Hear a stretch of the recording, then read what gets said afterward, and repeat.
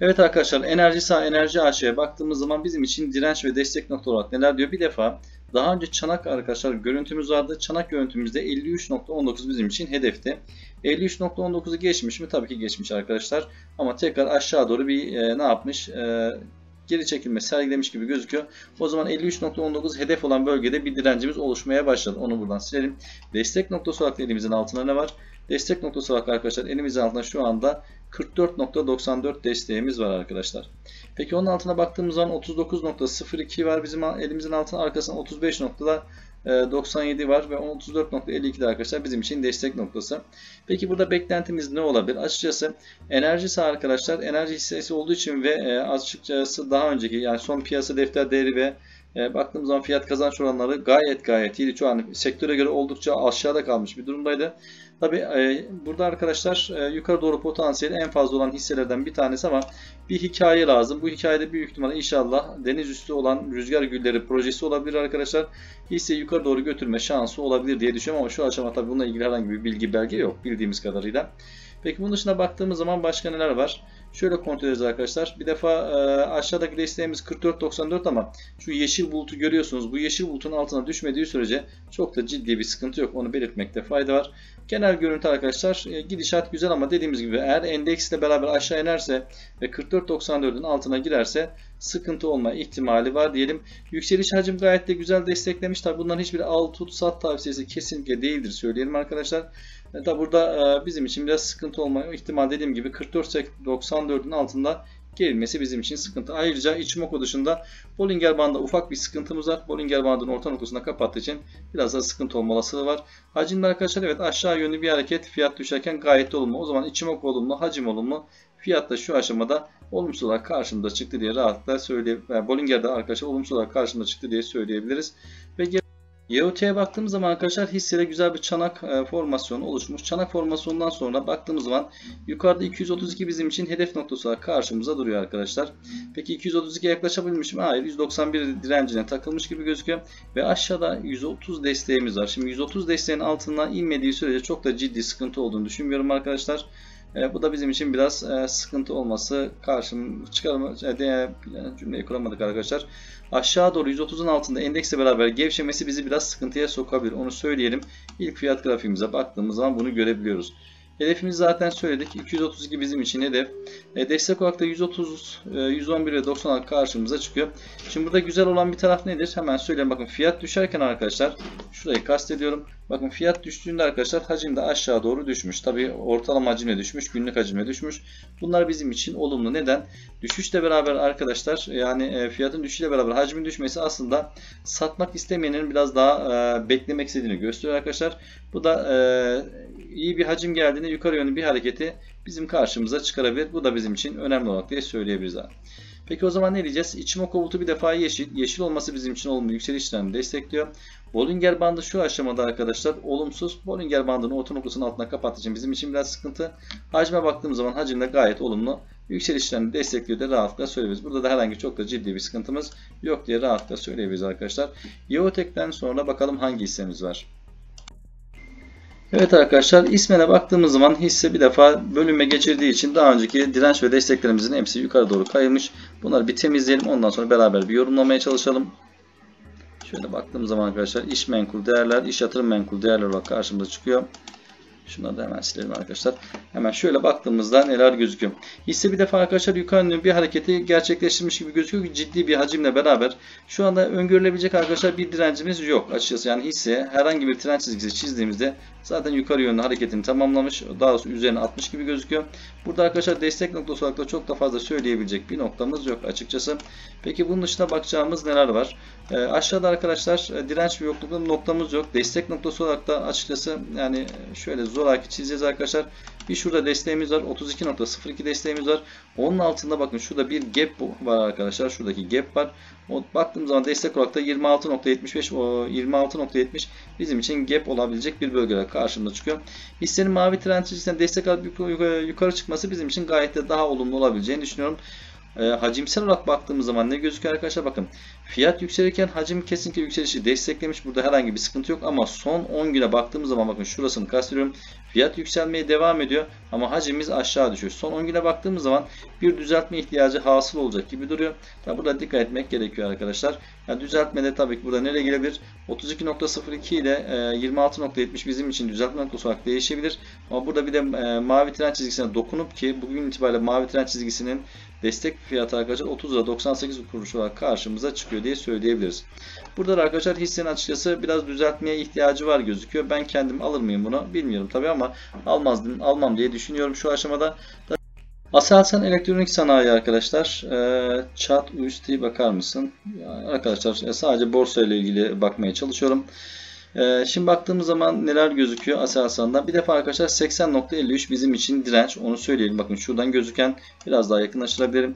E, ikincisi arkadaşlar trend direncimiz var. Trend direncimiz daha doğrusu trend hedefimiz var. Bugün itibariyle 210 fiyat hedefimiz var. Çanaktan kaynaklanan arkadaşlar. Bu da baktığımız zaman da şu aşamada 119 lira 57 kuruş olarak karşımıza çıkıyor. Aslında en olası 119 lira 57 kuruş olarak karşımıza çıkıyor. Burada arkadaşlar 80.53 lira bizim için bir direnç. Aşağıda sağlam bir desteğimiz var 67.80 ama bu desteği arkadaşlar aşağı doğru kırmaya kalkarsa bizim için biraz sıkıntı olma ihtimali olabilir arkadaşlar. Neden? Ee, Tabi endeks buna müsaade ederse bir anda kendimizi 62.18 daha da aşağı arkadaşlar 56.96'ya kadar getirebilecek bir sürecin başlangıcını açabilir ama benim tahminim arkadaşlar 62 civarında bir e, destekle tutunma ihtimali var diye söyleyebiliriz arkadaşlar buradan baktığımızda. Peki bunun dışında başka nelerimiz var? Hemen şöyle kontrol ettiğimizde fiyat düşerken ortalama hacmin düşmesi bakın şuradan kendinize görebiliyorsunuz. Fiyat düşerken ortalama hacmin düşmesi bizim için tabii ki olumlu olarak karşımıza çıkıyor. En azından satmak isteyenlerin biraz daha temkinli davrandığını, böyle bir dalgalanma durumda biraz daha böyle soğukkanlı davranmak istediğini gösteriyor. Veya e, arkadaşlar ciddi bir hacim gelmeden bile e, şuradaki hacimsel yükselişle beraber fiyatların aynı şekilde ciddi bir şekilde yükselme olasılığında karşımıza çıkıyor. Çünkü düşerken hacim düşük. Bu da aşağıda kalıcılığın az olmasını e, karşımıza çıkarmıyor arkadaşlar. İhtimal böyle bir şekilde karşımıza çıktı. Aselsan'da tabi burada Ichimoku olumlu. Burada herhangi bir sıkıntımız yok.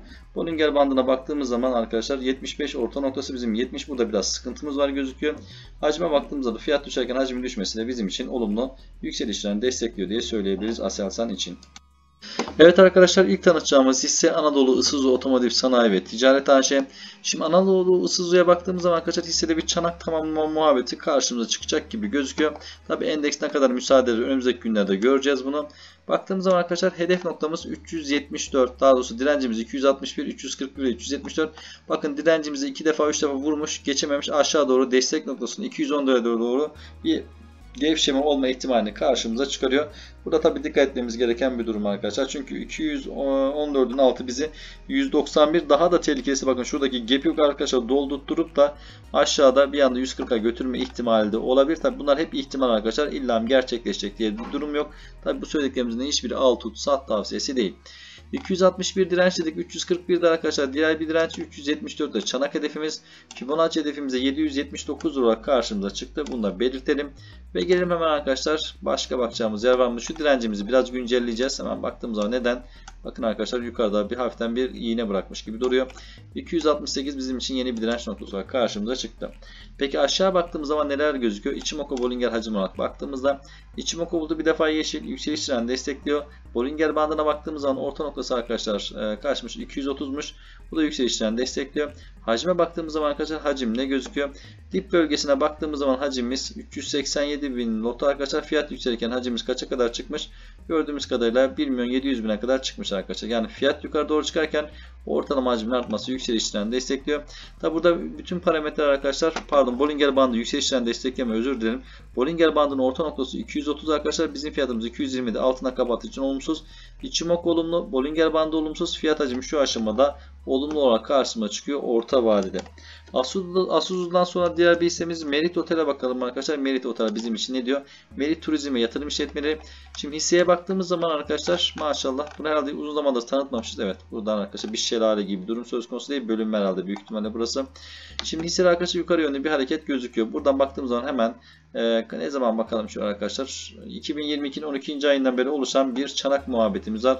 Bunun için hemen Fibonacci'sine bunun bakalım geri çekilmeyle beraber Bakın arkadaşlar şuraya kadar gelme potansiyeli var. Bizim için şu aşama arkadaşlar hedeflediği bölge kaç? 74 78 lira 490 78 lira 49 kuruş olarak karşımıza çıkıyor. Mevcut fiyat 62 lira 60 kuruş. Tabi hedefi gerçekleştirir mi? Hedefi gerçekleştirme olasılığı var. Çünkü çok ciddi bir hacim var. 6. ayından beri beraber gelen çok ciddi bir hacimimiz gözüküyor. Peki gelelim arkadaşlar bunun dışında başka nelerimiz var? Ee, bir defa arkadaşlar direnç destek olarak elimizin altında direnç yükselemediği bölge 65 lira 17 kuruş. Hedef bölgesi olarak da 78 lira 49 kuruş olarak karşımızda. Destek noktası olarak da arkadaşlar hemen şöyle baktığımız zaman şurada bir desteğimiz var. Daha aşağı desteğimiz var mı? Evet. Hemen iki tane desteğimizi koyalım arkadaşlar. Bakın 52.84 bizim için destek. Altına baktığımız zaman 44.53 de bizim için destek olarak karşımıza çıkıyor. Bunun dışında Ichimoku Bollinger Hacımak değerlendirelim. Ichimoku bulutuna baktığımız zaman bir defa yeşil. Yeşil olması bizim için olumlu arkadaşlar. Yükselişlerini destekliyor. Bollinger bandına baktığımız zaman orta noktası 51. Bizim fiyatımız 62. Bollinger bandını orta noktasının üzerine kapattığı için bu da olumlu ama bakın bir düzeltme riskini karşımıza getirdi. Neden? Şuradaki arkadaşlar Bollinger bandının dışına çıktığı için mavi bulutumsu bölgenin ister istemez bir kısa vadede bir geri çekilme olma ihtimali var arkadaşlar. Dikkatli olmakta fayda vardır diye söyleyelim. İçimok olumlu. Bollinger'e baktığımız zaman Bollinger'de olumlu ama riskimiz var. Hacme baktığımız zaman arkadaşlar dip bölgesine hacim 467 bin not. Fiyat yukarı çıkarken hacim 930 bin not. Fiyat yükselirken ortalama hacmin artması bizim için olumlu. Yükselişlerini destekliyor. İçimok olumlu olumlu. Bollinger bandı olumlu. Fiyat hacimde şu aşamada olumlu olarak karşımıza çıktı diyelim ama tabi Bollinger bandında risk var. Ve gelelim arkadaşlar diğer bir hissemize Alkim'e bakalım. Alkim bizim için ne diyor? Alkim Alkali Kimya Sanayi arkadaşlar hemen şöyle kontrol ettiğimizde baktığımız zaman arkadaşlar e, çanak muhabbetimiz var. 45.07 arkadaşlar bizim çanak hedefi olarak karşımıza çıkan bölge diye söyleyebiliriz. Buraya ulaşabilmek için arkadaşlar şu aşamada daha sonra buraya demeyeyim yanlış kullandık cümleyi. E, 80.41'de Fibonacci'nin 2.61 seviyesi. Buraya ulaşabilmek için arkadaşlar 80.41'e %129.85 bir kar potansiyeli var ki bunların hiçbir arkadaşlar alt tut saat tavsiyesi değil. Onu özellikle belirtmekte fayda var. Gelelim arkadaşlar hissenin hedeflediği bölgelere. Direnç olarak 40 bizim için karşımızda. Aynı zamanda çanak ve çanağın üstündeki 45.07 arkadaşlar çanak hedefi. Birisi çanağın altındaki 40.09. Şuradaki arkadaşlar yansıması diğeri de 45.07 ki dirençten geri dönmüş. Destek olarak elimizin altında 32.56 desteğimiz var. Onun altında arkadaşlar 29.70 desteğimiz var. Hissenin gidişatı gayet de güzel. Herhangi çok ciddi bir sıkıntımız yok. Onu da belirtmekte fayda var. Ee, tabi burada e, indikatörler ne diyor onu da söyleyelim. Şimdi Ichimoku bulutuna baktığımız zaman yeşil, yeşil olması bizim için olumlu. Bollinger bandına baktığımız zaman orta noktası 37.12 bu da bizim için olumlu arkadaşlar. Bu da yükselişlerini destekliyor. Hacme baktığımız zaman bakın tepe noktasındaki ortalama hacmimiz kaçmış? Hemen şöyle bakalım 2 milyon 800 bin not fiyat düşerken hacim 2 milyon 300'e düşmüş ki bu da bizim için olumlu. Bu da yükselişlerini destekliyor. O zaman Ichimoku bulutu olumlu. Bollinger bandı olumsuz. Orta noktanın altından kapattığı için fiyat hacimde şu aşamada olumlu olarak çıktı diyelim. Ve sıradaki iki tane hissemiz kaldı. Yeşil yapıyla ulusal elektrik arkadaşlar. Yeşil yapıya da bir bakalım. Yanlış hatırlamıyorsam Yeşil Yapı'da ciddi cezalar geldi arkadaşlar. Spekülasyon ve manipülasyon yapıldığından dolayı. Bundan bir ay önce mi neydi? Şimdi buradan baktığım zaman arkadaşlar neler gözüküyor? Bir defa bizim 3.40 e, çanak hedefimiz var. Çanak hedefimizin üzerine çıkmaya çalışmış ama arkadaşlar burada tutunamadan aşağı doğru bir e, bakalım arkadaşlar e, nedir? Geri çekilmeye yaklaşmış gibi gözüküyor. Peki hedeflediği fiyat kaç? Hedeflediği fiyat arkadaşlar 5.66 olarak karşımıza çıkıyor. Bu da bizim için olumlu mu? Tabii ki arkadaşlar. Olumlu olup olmayacağını önümüzdeki günlerde göreceğiz ama çanak hedefi şu aşamada karşımızda kaçtı? 5.66 olarak karşımıza duruyor. Peki bunun için arkadaşlar direncimiz kaç? Çanak hedefimiz yukarı doğru geçtiği için direncimizi biraz güncelleyeceğiz. Direnç hedefimiz 3.68 ee, daha sonra direncimiz 3.68 hedefimiz değil tabi. Destek olarak elimizin altında şu aşamada 2.86 onun altına baktığımız zaman 2.63 ve 2.35 de bizim için destek noktası olarak karşımıza çıktı diye rahatla söyleyebiliriz. Ve gelelim arkadaşlar bunun dışında başka nelerimiz var? Hissenin gidişatı ile ilgili özellikle hacim kısmına değinmek isteyeceğim biraz sonra. Ichimoku bulutu bir defa olumlu. Yükseliş trend destekliyor. Neden? Yeşil olduğundan dolayı. Bollinger bandı şu aşamada olumsuz. Neden arkadaşlar? Orta noktası 3.09 bizim fiyatımız bunun %3 altında 3 lirada arkadaşlar. Bu da bizim için olumsuz olarak karşımıza çıkıyor. Hacme baktığımız zaman dip bölgesindeki ortalama hacimiz 23 milyon not. Fiyat yukarı çıkarken arkadaşlar ortalama hacmimiz 50 milyon Fiyat yukarı çıkarken ortalama hacmin artması bizim için olumlu. Yükselişten destekliyor. O zaman Ichimoku olumlu. Bollinger bandı olumsuz. Fiyat hacimde şu aşamada olumlu diyelim. Ve girelim arkadaşlar Ulusoy Elektriğe bakalım. Ulusoy Elektrik bizim için ne diyor arkadaşlar? Hemen şöyle bakalım. Ulusal elektriğe baktığımız zaman arkadaşlar hisse ne gözüküyor? Hissede bir defa direncimiz şu aşamada 235 lira karşımıza duruyor. Onun için arkadaşlar aşağıda 156, onun altında 115, onun altında 98 desteğimiz var gözüküyor. Hisse arkadaşlar bir defa anladığım kadarıyla Bollinger bandının altına kapattığı için büyük ihtimal arkadaşlar 164 lira kadar eğer endeksle beraber giderse bir gevşemesi söz konusu olabilir. Tabi bunların hiçbiri al tut saat tavsiyesi kesinlikle ve kesinlikle değildir arkadaşlar. Özellikle belirtmekte fayda vardır diye söyleyelim.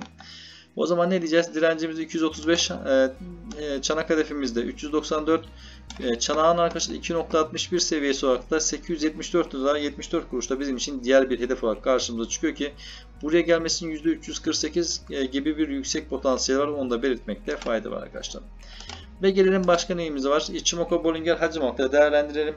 Ee, arkadaşlar bu arada hissenin yukarı doğru gitme potansiyeli var gibi geliyor bana. Tabi bundan hiçbir altın sat tavsiyesi değil onu özellikle belirtelim. Ichimoku otu bir defa yeşil. Yeşil olması bizim için olumlu yükselişler destekliyor. Bollinger bandına baktığımız zaman orta noktası 207. Bizim fiyatımız 195. Bollinger bandının orta noktasının altından kapattığı için bu da bizim için olumsuz yükselişlerini destekliyor. Hacime baktığımız zaman tepe noktasındaki ortalama hacim 528 bin notken fiyat aşağı düşerken hacim 285 bin nota düşmüş yarı yarıya. Bu da bizim için olumlu arkadaşlar. En azından yükselişin ciddi ufak bir hacime tekrar yukarı yönlü olma olasılığını arttırıyor arkadaşlar. Eğer hacim artmış olsaydı düşerken yandı gülüm keten avlu olma ihtimali vardı. Genel görüntü bu şekilde karşımıza çıktı. İçimok olumlu, Bollinger bandı olumsuz, fiyat hacimde şu aşamada olumlu olarak karşımıza çıktı diye söyleyebiliriz arkadaşlar.